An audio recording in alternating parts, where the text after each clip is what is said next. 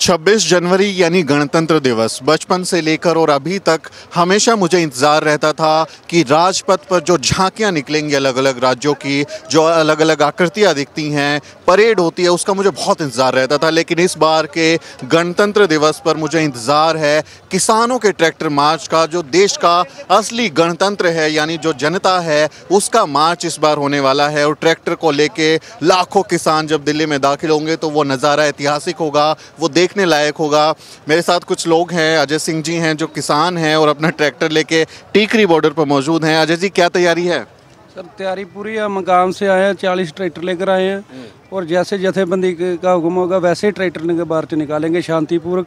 जो रोड हमको मिला वही उसी रोड पे हम मार्च निकालेंगे। कुछ रूट फाइनल हो गया? अभी आउटर रिंग कह रहे थे आउटर रिंग रोड पे जाना है। हाँ जी रूट तो फाइनल हुआ। अभी बात कर रहे थे हम थोड़ा सा लेट आए। जथेबंदी जिधर जोन सा रूट हर एक बॉर्डर को अलग अलग रोड मिला उसी पे जाएँगे जी। शांतिपूर्वक जाएँगे। तो क्या तैयारियाँ खास करी हैं कि भाई उस दिन हमें क्या मेंटेन डिसिप्लिन बना के रखना है शांति बना के रखनी है? कुछ किस तरह से लोगों को तैयार कर रहे हैं? हाँ जी वैसे तो हम गांव से भी डिसिप्लिन से आए हैं सीधा अब यहाँ पे भी रोड नहीं शो होगा जो सा परे- परेड होगी उसमें डिसिप्लिन जो होगा कोई है इधर शरारत शरूरत वाला कोई काम नहीं होगा ये वीर जी आप कहाँ से आए हैं ਹਾਂਜੀ ਮੈਂ ਵੀ ਸਰਸਾ ਸੇ ਆਇਆ ਮੇਰਾ ਨਾਮ ਸਵਰਨ ਸਿੰਘ ਹੈ ਜੀ ਆਪਨੇ ਸਵਾਲ ਇਹ ਕੀਤਾ ਵੀ ਗਣਤੰਤਰ ਦਿਵਸ ਆ ਤੁਹਾਡੀ ਕੀ ਤਿਆਰੀ ਹੈ ਅਸੀਂ ਇੱਕ ਕਿਸਾਨ ਨਾਲ ਸੰਬੰਧਿਤ ਕਿਸਾਨ ਦੇ ਬੇਟੇ ਆ ਔਰ ਸਾਡੇ ਕੋਲ ਟਰੈਕਟਰ ਹੈ, ਟਰੈਕਟਰ ਤੇ ਬਿਲਕੁਲ ਸ਼ਾਂਤੀਪੂਰਵਕ ਜਿਹੜਾ ਹੈ ਨਾ ਇਹ ਰੋਸ ਮਾਰਚ ਕਰਾਂਗੇ ਔਰ ਨਿਰਾ 26 ਜਨ- ਜਨਵਰੀ ਤੱਕ ਨਹੀਂ, ਜਿੰਨਾ ਸਾਡੇ ਹੱਕਾਂ 'ਚ ਇਹ ਕਾਲੇ ਬਿੱਲ ਵਾਪਸ ਨਹੀਂ ਹੁੰਦੇ,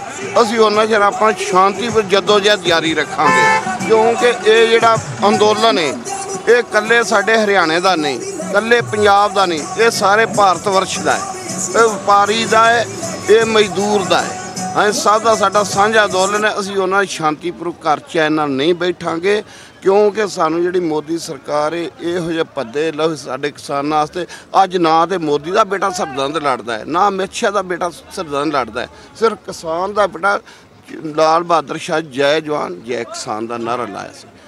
ਜਵਾਨ ਜਿਹੜਾ ਹੈ, ਉਹ ਬਾਰਡਰ ਤੇ ਲੜਦਾ ਹੈ ਔਰ ਜ- ਜਵਾਨ ਜਿਹੜਾ, ਉਹ ਕਿਸਾਨ ਜਿਹੜਾ ਖੇਤਾਂ 'ਚ ਕੰਮ ਕਰਦਾ ਹੈ। ਸੋ ਗੱਲ ਇਸ ਤਰ੍ਹਾਂ ਵੀ ਸਾਨੂੰ ਕਦੀ ਆਤਵਾਦੀ ਨਾਲ ਪੁਕਾਰਦਾ ਕਦੀ ਉਹ ਸਾਡੇ ਕੋਲ ਉਹ ਜੀ ਕੋਈ ਬਾਤ ਨਹੀਂ, ਕੋਈ ਗੱਲ ਨਹੀਂ, ਬਾਤ ਨਹੀਂ। ਅਸੀਂ ਬਿਲਕੁਲ ਸ਼ਾਂਤੀਪੂਰਕ, ਅਸੀਂ ਅਸੀਂ ਇੰਡੀਆ ਭਾਰਤ ਦੇ ਵਾਸੀ ਹਾਂ। ਅਸੀਂ ਦੇਸ਼ ਦਾ ਕੋਈ ਵੀ ਇਹੋ ਜਿਹਾ ਕੰਮ ਦੇਖ ਹੈ ਕਿ ਜਿਹਨਾਂ ਦੇਸ਼ ਦੀ ਥੱਲੇ ਹੱਦ ਤੱਕ ਹੋਵੇ। ਸੋ ਗੱਲ ਅਸੀਂ ਤੇ ਪ੍ਰਧਾਨ ਮੰਤਰੀ ਨਰਿੰਦਰ ਮੋਦੀ ਜੀ ਨੂੰ ਅਪੀਲ ਕਰਨੇ ਆ ਵੀ ਉਹ ਕਾਲੇ ਬਿੱਲ ਵਾਪਸ ਕਰੇ। ਔਰ ਕਿਸਾਨ ਵਿਚਾਰੇ ਆਪ ਉਹਨੇ ਘਰਾਂ 'ਚ ਜਾਣ ਕਿਉਂਕਿ ਗੱਲ ਇਹ ਆ ਕਿਸਾਨ ਅਮ, ਜਿਹੜੇ ਨਰਿੰਦਰ ਮੋਦੀ ਹੈ ਇਹ ਕੁਰਾਨ ਕੇ ਦੇਖਣ ਵੀ ਕਿਵੇਂ ਬੱਚੇ ਬੁੱਢੇ ਬਿਰਧ ਇੱਥੇ ਮੰਨ ਲਓ बहुत लोग बैठे हुए हैं तो वीर जी बहुत दिन से आप पंजाब में भी बैठे हुए थे फिर यहाँ पे भी बैठे हुए हैं तो एक तरीके से ताकत भी दिखाएंगे कि देखिए हमारी ताकत जो एकता है किसानी एकता है सरकार को ताकत दिखाने का भी एक जरिया है ये ਹਾਂਜੀ ਇਹ ਤਾਕਤ ਹੀ ਸਾਡੀ ਵੇਖੋ ਸਾਡਾ ਜਿਹੜਾ ਹੈ ਨਾ ਜੀ ਰੋਸ ਪ੍ਰਦਰਸ਼ਨ ਆ ਔਰ ਸ਼ਾਂਤੀਪੂਰ ਅਸੀਂ ਸ਼ਾਂਤੀ ਪੂਰਵਕ ਹੀ ਆਪਣਾ ਜਿਹੜਾ ਇਹਨਾਂ ਤਾਕਤ ਦਿਖਾ ਰਹੇ ਸਰਕਾਰ ਨੂੰ, ਉਹ ਮੰਨੇ, ਨਾ ਮੰਨੇ, ਪਰ ਅਸੀਂ ਉਹਨਾਂ ਦੇ ਘਰ ਨਹੀਂ ਜਾਵਾਂਗੇ ਜੋ ਅਸੀਂ 2 ਮਹੀਨੇ ਤੋਂ ਸਰਦੀ ਦੇ ਵਿੱਚ ਨਰਿੰਦਰ ਮੋਦੀ ਦੇ 50 ਲੱਖ ਦੀ ਰੋਜ਼ ਸਿਕਿਉਰਿਟੀ ਲੈ ਕੇ 10 ਲੱਖ ਦਾ ਸੂਟ ਪਾ ਕੇ ਔਰ 60 ਲੱਖ ਦੀ ਐਨਕਾਂ ਘੁੰਮਤਾ ਹੈ, ਇੱਥੇ ਕਿਸਾਨ ਨੂੰ ਤੇ ਰੋਟੀ ਖਾਣੀ ਬਹੁਤ ਮੁਸ਼ਕਲ ਹੋ ਗਈ ਹੈ।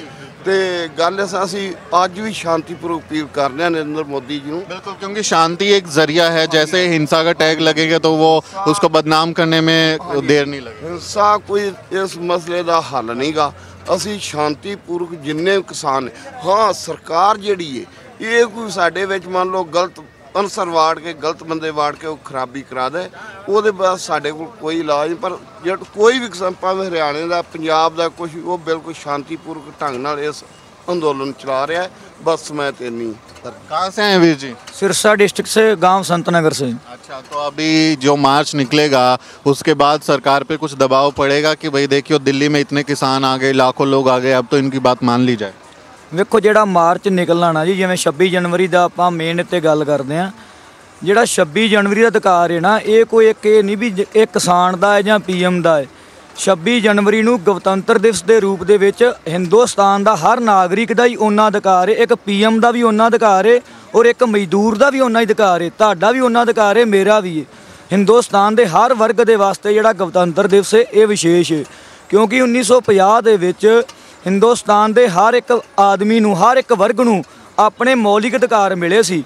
ਉਹਨਾਂ ਇੱਕ ਤਾਨਾਸ਼ਾਹੀ ਰਵਈਆ ਤੋਂ ਉੱਤੇ ਉੱਠ ਕੇ ਇੱਕ ਇਹ ਸੰਵਿਧਾਨ ਬਣੇ ਸੀ ਵੀ ਹਿੰਦੁਸਤਾਨ ਦਾ ਕੋਈ ਵੀ ਕਿਸੇ ਵੀ ਸਮਾਜ ਦਾ ਬੰਦਾ ਹੈ, ਕਿਸੇ ਧਰਮ ਦਾ ਬੰਦਾ ਹੈ, ਕਿਸੇ ਖਿੱਤੇ ਦਾ ਬੰਦਾ ਹੈ, ਉਹਦਾ ਜਿਹੜਾ ਮੌਲਿਕ ਅਧਿਕਾਰ ਹੈ, ਉਹ ਬਰੋਬਰ ਹੋਣਾ ਚਾਹੀਦਾ ਹੈ। ਉਦੋਂ ਤੋਂ ਹੀ ਇਹ ਗਣਤੰਤਰ ਦਿਵਸ ਬਣਿਆ ਸੀਗਾ। ਕਿਸਾਨ ਦਾ ਵੀ ਉਹਨਾਂ ਅਧਿਕਾਰ ਹੈ ਔਰ ਕਿਸਾਨ ਅੱਜ ਇੱਥੇ ਬਾਰਡਰ ਤੇ ਬੈਠਾ ਹੋਇਆ ਹੈ।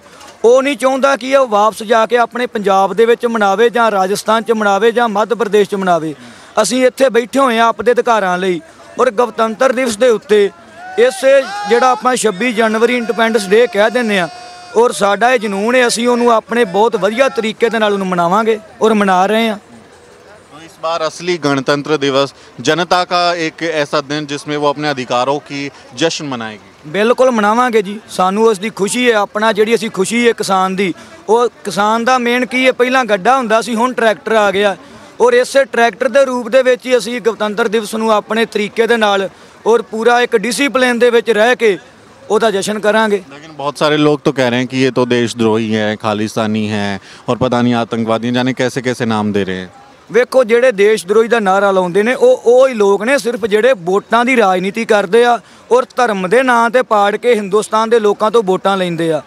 ਅੱਜ ਹਿੰਦੁਸਤਾਨ ਦੇ ਵਿੱਚ ਸਭ ਤੋਂ ਵੱਡੀ ਸਮੱਸਿਆ ਕੀ ਹੈ? ਧਰਮ ਦੇ ਨਾਂ ਤੇ ਪਾੜ ਦੋ। ਹਿੰਦੂ ਨੂੰ ਮੁਸਲਮਾਨ ਦਾ ਨਾਲ ਲੜਾ ਦਿਓ ਮੁਸਲਮਾਨ ਨੂੰ ਸਿੱਖ ਨਾਲ ਲੜਾ ਦਿਓ ਸਿੱਖ ਨੂੰ ਕਿਸੇ ਹੋਰ ਕੌਮ ਨਾਲ ਲੜਾ ਦਿਓ ਜੋ ਕਿ ਅੱਜ ਕੱਲ ਮੋਦੀ ਕਰ ਰਿਹਾ ਹੈ। ਮੋਦੀ ਦਾ ਮੇਨ ਫੈਕਟਰੀ ਇਹ ਸੀਗਾ ਚੋਣਾਂ ਦੇ ਵਿੱਚ, ਹਿੰਦੂਵਾਦ ਪੈਦਾ ਕਰਨਾ। ਜੇ ਹੁਣ 370 ਹਟਾਉਣ ਦਾ ਕੀ ਕਾਰਨ ਸੀ? ਸਿਰਫ ਇੱਕ ਬੋਰਡ ਹੀ ਖਰੀਦੀ, ਹੋਰ ਉੱਤੇ ਕੀ ਕੀਤਾ? ਅੱਜ ਜਿਹੜੀ ਲੋਕਾਂ ਦੀ ਉੱਥੇ ਹਾਲਾਤ ਏ, ਉਹ ਬਹੁਤ ਜ਼ਿਆਦਾ ਬਦਤਰ ਏ। ਅਜੇ ਕਿ ਉੱਥੇ ਰਿਪੋਰਟ ਕਰਨ ਦਾ ਵੀ ਅਧਿਕਾਰ ਨਹੀਂ ਹੈਗਾ, ਕਿਸੇ ਨੂੰ ਜਾਣ ਦੀ ਪਰਮਿਸ਼ਨ ਵੀ ਨਹੀਂ ਹੈਗੀ। ਔਰ ਇਸੇ ਤੋਂ ਉੱਪਰ ਉੱਠ ਕੇ ਅੱਜ ਜਿਹੜੀ ਇਹਦੀ ਹਾਲਾਤ ਹੋਈ ਪਈ ਹੈ, ਸਾਰੇ ਪੂਰੇ ਵਰਲਡ ਦੇ ਵਿੱਚ ਹੋਈ ਪਈ ਹੈ, ਔਰ ਇੱਕ ਸਿਰਫ ਇੱਕ ਨਰਿੰਦਰ ਮੋਦੀ ਕਰਕੇ ਹੋਈ ਪਈ ਹੈ। ਬੜੀ ਅਫਸੋਸ ਦੀ ਗੱਲ ਹੈ ਜਿਹੜਾ ਹਿੰਦੁਸਤਾਨ ਦਾ ਪ੍ਰਾਈਮ ਮਿਨਿਸਟਰ ਹੈ ਪ੍ਰਾਈਮ ਮਿਨਿਸਟਰ ਕੋਈ ਛੋਟੀ ਮੋਟੀ ਤਾਕਤ ਨਹੀਂ ਹੁੰਦਾ, ਸਾਰਾ ਦੇਸ਼ ਉਹਨੂੰ ਸਲੂਟ ਕਰਦਾ ਹੈ। ਪਰ ਅੱਜ ਉਹਦੇ ਇਹੋ ਜਿਹੇ ਘਟੀਆ ਕਾਰਨਾਮੇ ਆ, ਅੱਜ ਹਿੰਦੁਸਤਾਨ ਦਾ ਹਰ ਵਰਗ ਉਹਨੂੰ ਥੂ ਥੂ ਕਰਨ ਦਿਆ, ਉਹਦੀ ਆਲੋਚਨਾ ਕਰਨ ਦਿਆ। बिल्कुल और लोग खुश नहीं है तो उनकी बात सुननी चाहिए। अजय भाई ये ट्रैक्टर जो है ये कुछ अलग लग रहा है बहुत ही खास स्पेशल सा ट्रैक्टर लग रहा है। इसके बारे में बताएँगे ज़रा। सर ये ट्रैक्टर वैसे आम ट्रैक्टर जैसा ही है जी ड्यूफार ये जर्मनी का ट्रैक्टर है। अच्छा। और वैसे कहीं पे हमारे एरिया में तो बहुत है वह इस इस इधर कम है इसलिए आपको अजीब लगता इसलिए है हम लोगों को अलग लग रहा है। तो ये जर्मनी से मंगाया है या बाहर? Company Germany. हाँ जी इटालियन और जर्मनी का ट्रैक्टर तो इसकी क्या कीमत है ट्रैक्टर की? साढ़े सात लाख। साढ़े सात हाँ जी।